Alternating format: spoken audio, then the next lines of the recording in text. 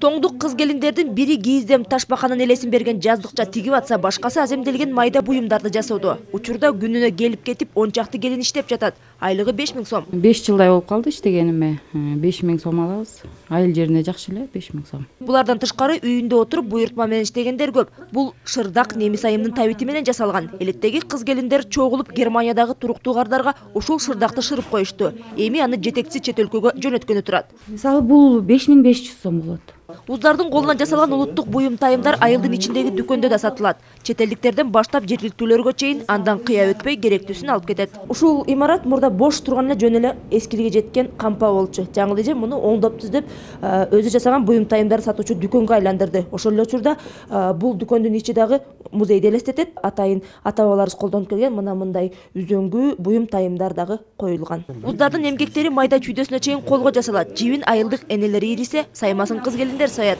жүнүн да өздөрү тутат гүлнара касымбекова медержан бейишев коомдук биринчи канал тоң району